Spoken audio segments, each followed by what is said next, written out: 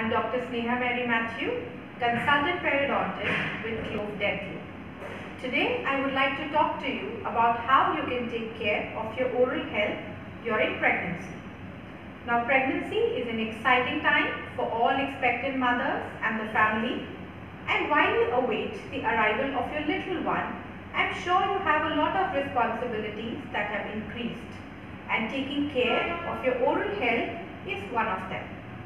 Studies show that children born to mothers with poor oral hygiene and dental caries are themselves at a risk of developing cavities in their childhood. So, to ensure a happy and healthy smile for you and your little one, you must make oral health care a priority for yourself. Treatment during pregnancy is extremely important and safe. In case you're planning a pregnancy, it's a great idea to go visit your dentist, get yourself screened and get treatment done so that you can have a smooth pregnancy.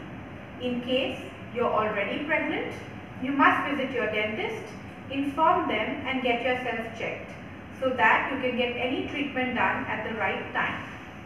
Now treatment during pregnancy is safest in the second trimester that is the fourth, the fifth and the sixth month of your pregnancy.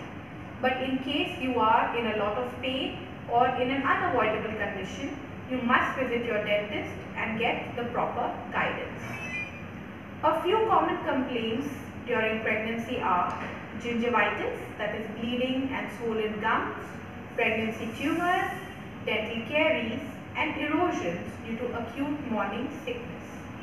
Your gingivitis and swollen gums can be taken care of by professional oral prophylaxis.